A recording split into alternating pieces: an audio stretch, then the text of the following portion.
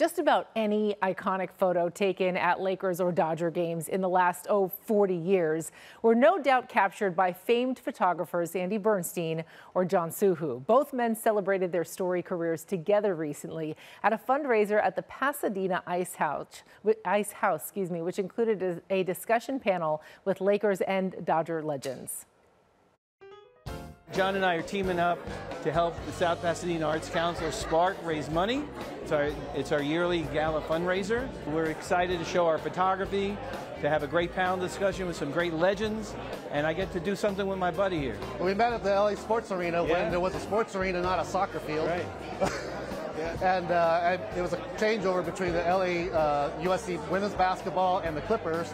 I sat down to shoot the game, the SC game, and then he, he sat down next to me to shoot the Clipper game. In between, we just started talking. I think, and he, I think it was checking your credential and make sure you were good. It was not good. It was not good.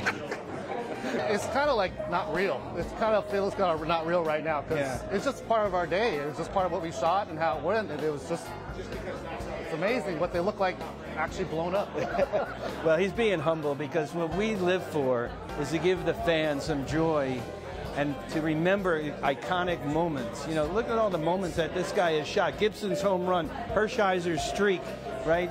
Vin's waving goodbye, um, the bubble in 2020, you know, and, and, then myself as well. You're talking about two of the best.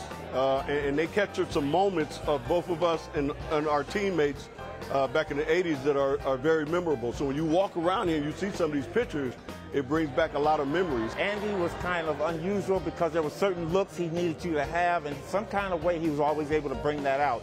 You know, shooting uh, athletes is a different thing, especially when you when they're out there playing is different. But Andy was able to get the best out of us one on one, uh, and the pictures that he really wanted and, and to capture. From the action shots to the pose shots, uh, there's some fantastic stuff. Some facial expressions I'm not going to make on TV are on some of these pictures.